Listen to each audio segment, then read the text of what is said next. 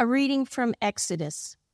When Pharaoh drew near, the people of Israel lifted up their eyes, and behold, the Egyptians were marching after them, and they feared greatly.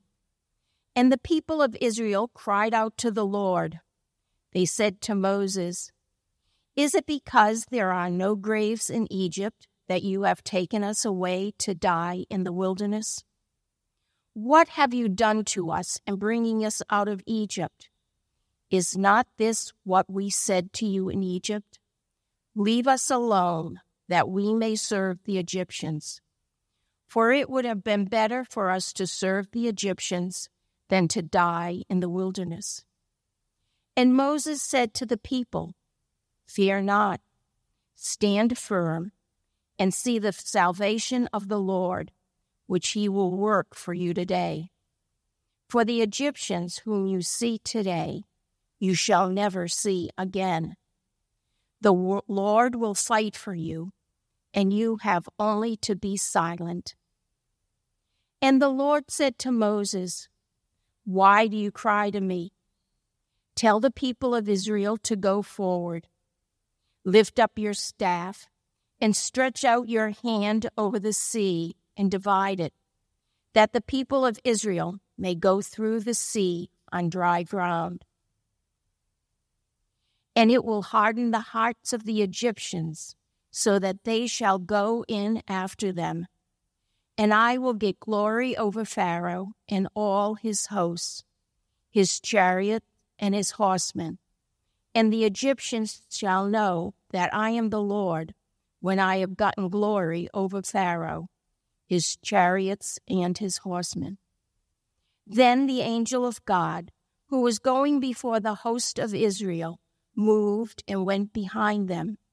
And the pillar of cloud moved from before them and stood behind them, coming between the host of Egypt and the host of Israel. And there was the cloud and the darkness, and it lit up the night without one coming near the other all night. Then Moses stretched out his hand over the sea, and the Lord drove the sea back by a strong east wind all night, and made the sea dry land, and the waters were divided. And the people of Israel went into the midst of the sea on dry ground, the waters being a wall to them on their right hand and on their left. The Egyptians pursued and went in after them in the midst of the sea, all the Pharaoh's horses, his chariots, and his horsemen. And in the morning watch, the Lord in the pillar of fire and of cloud looked down at the Egyptian forces and threw the Egyptian forces into panic, clogging their chariot wheels so that they drove heavily. And the Egyptians said, let us flee from before Israel, for the Lord fights for them against the Egyptians. Then the Lord said to Moses, Stretch out your hand over the sea, that the water may come back upon the Egyptians, upon their chariots, and upon their horsemen. So Moses stretched out his hand over the sea, and the sea returned to its normal course when the morning appeared. And as the Egyptians fled into it, the Lord threw the Egyptians into the midst of the sea. The waters returned and covered the chariots and the horsemen and all the host of Pharaoh that had followed them into the sea. Not one of them remained. But the people of Israel walked on dry ground through the sea, the waters being a wall to them on their right hand and on their left. Thus the Lord saved Israel that day from the hand of the Egyptians. And Israel saw the Egyptians dead on the seashore. Israel saw the great power that the Lord used against the Egyptians. So the people feared the Lord, and they believed in the Lord and in his servant Moses.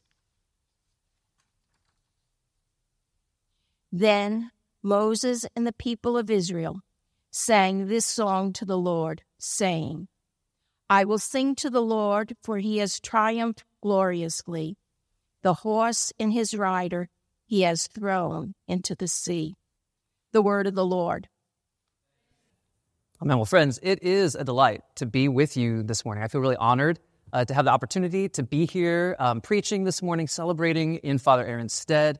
Um, he really blessed Cornerstone when he was visiting us a couple weeks ago, so I hope to return the favor in some way uh, by blessing you all by my presence and my family's presence here this morning. And uh, to that end, also, Cornerstone sends our greetings. We love you guys a lot.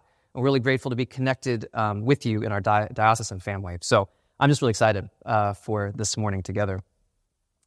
Um, let me begin by just making an initial observation. Um, there are some events that are so momentous that they really never stop shaping us. You know what I mean? Um, maybe just a small example. If you think of, well, kind of a big example. If you think of our own country, uh, July 4th, 1776 was a pretty pivotal moment in the life of our nation. On that day, the Declaration of Independence was signed. And on that day, it functionally began our nation, or at least the idea of it, as, as we declared, the colonies declared independence from Great Britain. So it's this critical event, right? We teach it to our children in schools. Uh, some of you may have um, been born abroad but became U.S. citizens, and on the naturalization exam, you had to know about the Declaration of Independence for that exam. And the ideas that are kind of baked into um, that date, that moment, have continued to shape us ever since, especially the ideas of things like liberty and freedom in our country. And so, uh, many, many years later, someone like the Reverend Dr. Martin Luther King Jr., in his I Have a Dream speech, one of the most iconic speeches ever, at the climax of that speech, he would appeal to the Declaration of Independence by saying he longs for this nation to rise up and live out the true meaning of its creed. We hold these truths to be self evident that all men are created equal right? That date, that moment, has had a profound effect on the future of shaping who we are as a people. So, similarly, the crossing of the Red Sea in the book of Exodus is one of those momentous events that never stops shaping us as God's people. It, at the time, was what functionally began the nation of Israel, right? On one side of the sea, they were under Egyptian rule. On the other side of, this, of the thing, they were fully and finally free. And in the Old Testament and New Testament, God's people refer back to this moment over and over again. We heard it in our psalm reading this morning. It was alluded to in our psalm today. And this is the only text that's actually required every single year at the Easter Vigil to be read because it is so so crucial for understanding God's saving work on our behalf. It will forever shape us as God's people with the idea that God acts with power to free his people from their bondage. That's the God we've come to know. And so it's central to who God is. He is a God who brings freedom to his people, to you, to me. Now, I don't know about you, but when I think about a God who brings freedom to us, that's a compelling idea because the idea of freedom is compelling to us, isn't it? I think all of us have this inner awareness that we need freedom for our own flourishing. It's part of what it means to be fully alive. And so this passage makes me want to lean in a little bit and get to know this God, because a God who brings freedom is a God worth knowing. Now, as we dive into this passage, I want to say to you this morning that this scene, this episode, paints a specific vision of freedom, I think, and a specific template for God's saving deeds. And I would summarize it like this God doesn't save his people simply to set them free, but to make them his. God sets us free to make us his. The Bible teaches that belonging to God is what ultimately makes us free. And so I recognize this morning we had a very long passage. It's actually what was assigned for the Easter Vigil. Don't get mad at me. It's what the Easter Vigil assigns. Um, it's a long passage, so we're not going to be able to go kind of too verse by verse in depth. But what I want to do is I want to suggest to you there are kind of three claims that this text is organized around that have to do with freedom, the biblical idea of freedom. And I want to unpack each of those for a few moments together with you this morning. So here's the first claim We are set free as we trust the one who fights for us. We're set free when we trust the one who fights for us. Our passage, Exodus 14, is the climax of a conflict, conflict that's been going on throughout the book of Exodus. And the conflict centers around this To whom does Israel belong? Do they belong to Pharaoh? Or do they belong to the Lord, the God of Israel? And so, throughout Exodus thus far, the Lord has been already fighting for his people to win them from their slavery in Egypt. He inflicted 10 plagues upon the Egyptians, and after that, Pharaoh released the people, right? And now they're on their journey away from Egypt. And just before our passage today, if you had just the beginning part of Exodus 14, you would learn two surprising pieces of information for the Israelites at this moment, where we find them in Exodus 14. In verse 5, the first thing we learn is that Pharaoh regrets letting Israel go because he wants his slaves back. The first detail we find. And the second detail in verses 3 through 4 that we find is that the Lord has been intentionally leading Israel up against the Red Sea. And so the Pharaoh, who wants his slaves back, is going to see them trapped against the Red Sea and thinks that they have no escape route from him. What the Lord's doing, it seems here, is he's actually baiting Pharaoh into pursuing Israel at the Red Sea. Why would he do that? Well, Moses summarizes the Lord's intention in verse 14 of our passage. The Lord will fight for you. He's setting all this up so that he and he alone can fight for the Israelites. He is going to win the battle that the Israelites cannot win for themselves. He's going to prove his intentions with Israel at this moment. Now, let me ask you a question this morning. Has someone ever fought for you in your life? Maybe, maybe you were in a moment of need or crisis, and someone stepped up and they fought for you. They fought a battle that you couldn't fight for yourself. Maybe it was a spouse or a friend, a relative. In my own life, I actually have a pretty critical story of this. It's also somewhat personal. I know we don't know each other very well, so forgive me. Um, but when I was born, I was eight weeks premature. Now, I was born in the 1980s, which wasn't the Stone Age, but there were some interventions that weren't around then, right? And so I had a number of health complications being born that early that required a lot of care. And my parents, my parents fought for me when I was a baby. They endured many, many sleepless nights on my behalf. They covered medical costs that I don't even know the full extent of at this point still. They watched me undergo painful, complicated procedures. I still have the scars on my body from them. But when I was a baby, my parents fought for me. And the reason I'm standing before you today is because my parents fought for me. I'm alive because they fought for me. Now, Israel's testimony, I want to suggest to you at the Red Sea, is that they were alive because the Lord fought for them. It's a very familiar event to many of us. We know the story of the Red Sea, right? But it is also, if we just take a step back and look at it afresh, maybe, it's a stunning event as well, isn't it? I mean, think about this moment for them that through Israel's leader Moses, the Lord would make a path through the sea, the seemingly inescapable route. He would make a way for them through the sea by gathering the waters to the right and to the left of them. And in my mind's eye, I kind of imagine walking through like the Shedd Aquarium, you know? And so there's like walls of water on both sides, and you can see like a shark here or whatever. I, there probably aren't sharks in the Red Sea, but you get the idea. And the difference, though, being that there's a lot more adrenaline for the Israelites than for you know us in the Shedd Aquarium, unless you're followed by that army of kindergartners in the Shedd Aquarium. It can get a little intense, but but uh, no, that's kind of how I envision this. It's a miracle. It is an incredible miracle. But God doesn't just stop there, does He? He also, the Scripture says, throws the Egyptians into a panic. Specifically, in verse 25, we learn by clogging the Egyptian chariot wheels. That's a, that's a small detail, but it signifies something. See, the chariots for the Egyptians were their symbol of power. That was what made them a powerful military force, was their chariots. So for God to utterly stop those chariots was God saying, I'm in charge. Not the Pharaoh, not his forces. I'm in charge here. And in fact, God says that will be part of the effect of this whole episode is to prove that he is fully in charge. In verses um, 17 and 18 of our passage, he tells Moses,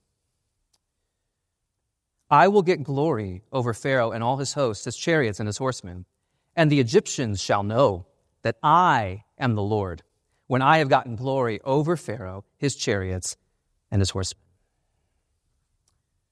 the Lord proves that He's the one in charge. And He also reveals who Israel truly belongs to. On the other side of the sea, Israel belongs fully and finally to God. They literally cross from oppression under Egypt to freedom in their true God. So at the Red Sea, the Lord reveals that he fights for his people to make them his. And this is a powerful revelation of the character of God. Because I, I want to suggest to you nothing proves someone's love more, actually, than when they fight for you. I know my parents' love for me because of how they fought for me when I was a small child. And the effect of this revelation is that it builds your trust in the one who loves you. You understand their heart for you through the way they fight for you. That's what the Lord has done for his people here at the Red Sea, and I want to suggest for us as well. Which is why in verses 30 through 31, we see that Israel believed in the Lord when they saw his great power. They believed in him. He had fought for them so he could be trusted. Friends, there is perhaps no more foundational question for us this morning in our relationship to God than to get clear about this. Do I trust God? Really, truly, do I trust God? Because how I answer that question will make all the difference in how I orient my life. Do I trust in God? Do I trust in His goodness, believe in Him? Let me leave that question there for a moment. Because there's a second claim about freedom in this text that's related to the first. It's this We live in freedom as we serve our only worthy master. We live in freedom as we serve our only worthy master. In our passage, there's actually a second conflict, I think, that's related to the first. So the first was, who does Israel belong to? The second question is, who will Israel serve? Egypt or the Lord? It's a question that's ultimately rooted in their trust. They will choose to serve the master that they ultimately trust. Now, this word service um, in the Hebrew comes from the word avad. And it's this rich word that has a couple of different shades of meaning. So it's not simply to serve, it can also mean to work in a general sense. It also can mean to serve in the sense we might use here in a congregational setting, it's the service of worship, right? It's the, the work that we render to God, right? Is our worship. So it's this kind of multifaceted word. But what I want to say is that avad, ultimately, serving is a total life orientation. What you surrender yourself to, that is what you are serving. And in chapter 4 of the book of Exodus, we learn that the purpose of the Exodus is so that Pharaoh will let the Israelites go so they can serve the Lord rather than Pharaoh. God tells them up front, this is what's going to happen. Here's the plan. But in verses 10 through 14 of our passage, we see that Israel isn't quite so sure about that plan. Because in that moment, at the beginning of our passage, remember, they are trapped between the Egyptians that way and the Red Sea that way and they don't see the way out. And it causes them to question. They approach Moses and they start complaining, which becomes a theme for them throughout their history in the early days. They would have been better off staying in Egypt, they say, and serving the Pharaoh. They would have been better off than this. Before they'd seen God fight for them, they lack trust in the Lord, and they don't understand his intentions with them. And it causes them to distrust. But notice that the dynamic here is not whether Israel will serve someone, it is who will Israel serve? Which master will they serve? Uh, the Hebrew scholar Jon Levenson from Harvard Divinity School summarizes it really well, I think. He says this The point of the Exodus is not freedom in the sense of self determination, kind of a modern ideal. We get to determine who we are, not self determination, but of service. The service of the loving, redeeming, and delivering God of Israel rather than the state and its proud king. That's the point of the Exodus. And so, where we find Israel at the beginning of our passage is that they lack trust in the Lord and they are tempted to return to their former master, Pharaoh. Now, I want to suggest to you that I think the same dynamic is true for us today. It's not a question for us of whether we will serve another, but of which master will we serve. There's a 20th century theologian named Paul Tillich who I think has really helpful language, um, helping helps us think about this idea a little bit further. He says your ultimate concern in your life is functionally your master, your God, if you will. It's the thing that the rest of your life is organized around and surrendered to. It's what's in first place in your life, your ultimate concern. And for us as humans, we all have temptations to become enslaved to lesser things, to lesser masters. Why is that? Well, because we can become like the Israelites at the Red Sea. We can be tempted to place our trust in the comfort, control, pleasure, or just the sort of the known, the known of those other masters. Those things seem to promise us instead of trusting God Himself. So, for example, for some of us, um, it's possible that an ultimate concern in our life might become money, for example, the pursuit of money. And part of what that might fuel in us is a desire for security that we seek in financial health, right? It's one way it could play out. Another way it could play out is through our career, that we find our meaning and purpose solely in our pursuit of a career. And frankly, guys, I'll just speak personally even in the work of ministry, that can be a temptation. That I will over identify myself with the work I'm doing for God's church rather than focusing strictly on my master, Jesus. It's a temptation. Maybe for you, there's a kind of, um, uh, you seek the pleasure or control or safety of even an addiction can, can, can sort of meet a need that we have for those things, right? Any of these kinds of things and more can become an ultimate concern in our lives, the thing we organize everything around. But here's what I want to say any concern other than the one true God will ultimately enslave you. It will ultimately enslave you. It isn't interested in your well being like the God that we know is. It's not interested in your well being, but meeting its impossible demands, whatever that might be. So if you're pursuing money, you'll feel like you never have enough. If you're pursuing success, you'll never be successful enough. If you find your meaning in your, your looks, your beauty, whatever, you'll never be beautiful enough. They're vicious taskmasters.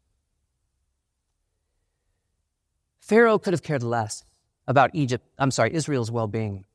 Could have cared less about Israel's well being. Only the Lord treats his people with steadfast love and faithfulness.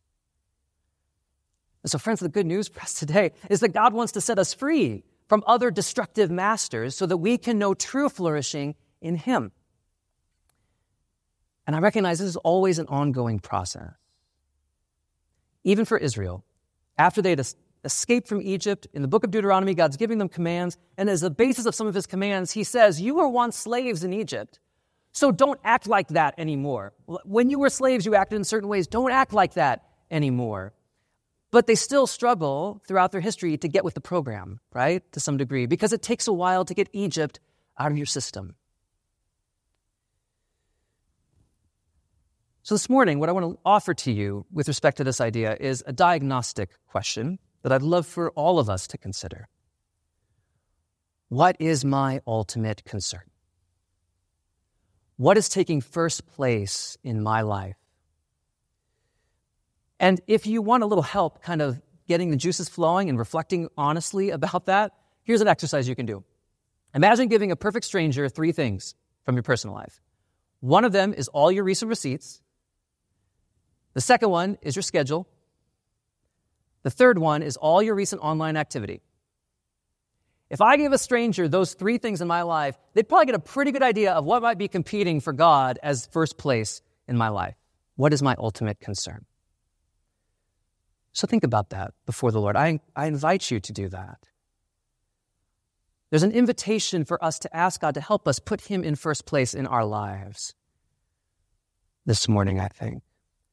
Because we trust that we can live in true freedom only if He is our one worthy master. At the end of our passage, we find in verse 31 that Israel comes not only to believe in the Lord, but to fear the Lord as well. And that word fear has to do with reverence. They start to have a healthy respect and understanding of who this God actually is. And I think that fear motivated what we find in verse 1, where they turn to him in praise. And we get the beautiful Song of Moses, the deliverance of Israel, the verses that follow. God set his people free to make them his, and they're coming to understand that the Lord is the only master worth serving. That's an invitation for us today as well. Now, very briefly, I want to make just a, a brief pastoral observation with this text at this point, because we're talking about trust. And I recognize that there's a kind of personal dynamic that may be coming out for some of us, even in this room today, maybe even an objection this morning. You might be saying this, something like this in yourself. Kyle, I do believe God fights for me and that I should serve him and that he wants my well being. Do you know the thing I'm going through today? It doesn't seem like God is the business of fighting for me now. You've been trusting him, but it doesn't seem like he's showing up in the ways you'd hoped he would. Well, the first thing I want to say is this this passage absolutely does reveal a God who is mighty to save. Make no mistake. But it doesn't reveal how we should expect God to act in every and all situations, right? We may want him to part the waters for us, but this story doesn't promise that he will do so in every situation, right? And so that leaves us with still a question, right? Why do we experience hardship sometimes, even though God is mighty to save. We've all been there, right? And of course, we know on some level it's a mystery known only to God in his wise and loving plan. He knows. We don't always know the reason. And so this could be the topic of a whole other sermon, but I just want to speak very briefly to that for a moment. What do we do in the midst of that?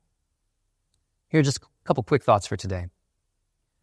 First, we can pray. We can still pray. We can seek out God and cry out to Him like a psalm like Psalm 106, actually, where in that psalm, the psalmist asks God to act in power on Israel's behalf, just like God did at the Red Sea. He's done it before. Lord, will you do it again?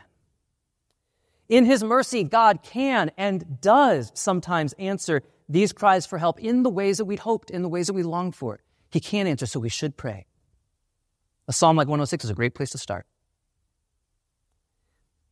Second, even if he doesn't answer in the ways that we'd hoped, we can decide in our deep heart that the God who has fought for his people in the past, including you and me, is a God who can be trusted, even if our present circumstances cause us to doubt in some way. It's a decision of our will at times to remember and believe that God is trustworthy. Third, we can cling to the promise that in His power, He can and will accomplish all the good He has in mind for us. As Paul reminds us in Romans 8, where he says, And we know that for those who love God, what? All things work together for good. We can cling to that in the midst of our circumstances. And lastly, in the meantime, as we wait on the Lord, as we seek His help, as we ask for deliverance in whatever the area may be, we can receive growth in freedom. Those circumstances may actually be a time when God wants to grow in us the freedom that He has in mind for us. A freedom that can liberate our souls even as we endure difficult circumstances. And sometimes true freedom grows because of the circumstances that we're in, not in spite of them. The kind of freedom God wants for us can grow even in the midst of the difficult circumstances we face. There's a lot more we could say about that, but let me leave you with those thoughts for just a moment with respect to this passage. Here's the third and final point about freedom from this passage this morning. Simply this God frees us through his chosen one. God frees us through his chosen one. In verse 31, we see that the crossing of the Red Sea not only instilled a, a, a faith in the Lord, but also trust in his servant Moses as God's chosen leader. The Lord had worked through Moses. Now, for Israel, at the time of the Exodus, that trust looked like following Moses toward the promised land. And obviously, as I kind of alluded to before, there was grumbling along the way. That trust ebbed and flowed, but that was the call to them in that moment. They had seen the Lord work through Moses and it instilled trust in him for the people. And for future generations after Moses, after Moses had died, there was a sense in which they still trusted in his leadership, but they did it through obeying the law of Moses, which included God's commands that were meant for their flourishing, the flourishing of the people of God. The law of Moses also held within it the sacrificial system, because God knew that the people wouldn't live up to all the commands, and they needed a way to be made right with him again. And so there was also a trust in the sacrificial system at the time. But the New Testament teaches that the freedom achieved through Moses was only ever partial. Several New Testament writers say that Jesus is the new and the better Moses. So, in a place like Acts 13, Paul could show up in a Jewish synagogue and say these words with conviction By Jesus, everyone who believes is freed from everything which you could not be freed by the law of Moses.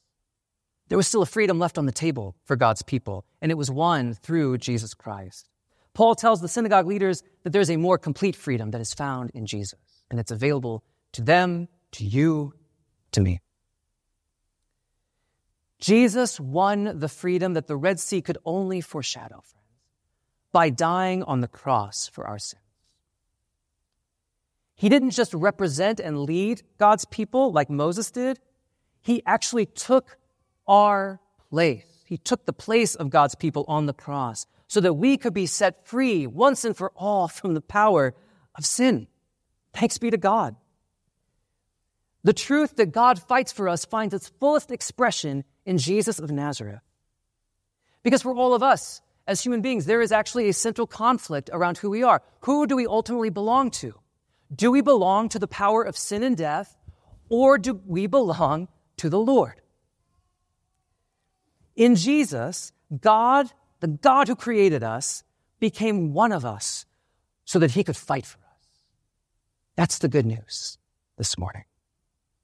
And on the cross, Jesus set us free forever from our slavery to sin and death. Because you see, in the character, the very nature of God is this truth God wants to set us free. God wants to set us free. He wants to set us free to make us His. And He has chosen to free us through His chosen one, Jesus Christ. Why? Because He loves us and He wants to make us fully alive forever. Jesus fought for us on the cross. He proved his love for us there. He can be trusted. I hope that communicates you can trust him. To imagine him nailed on the cross for you. He is the only way to true freedom on this side of eternity and the next. And he calls each one of us to say yes to his offer of freedom. I hear it in places like Matthew 11, where Jesus says to his disciples, Come to me, all who labor and are heavy laden, and I will give you rest. Take my yoke upon you and learn from me. For I am gentle and lowly in heart, and you will find rest for your souls. For my yoke is easy and my burden is light. I hear Jesus' beautiful words as an invitation today to press deeper into the freedom that he has won for all of us. So let's ask ourselves honestly before the Lord Will I follow Jesus further into the abundant life that only he can give? Lord, I pray this morning, earnestly in the power of the Spirit, that you would fill us once again with the wonder of what you've done for us. You have freed us to make us yours. And Lord, we know uh, that is an ongoing process. We are still becoming more and more fully yours each and every day. Lord, I pray also for the conviction deep in our hearts to believe that that is the only way to receive true freedom in our lives. Lord, we turn to you. We need you.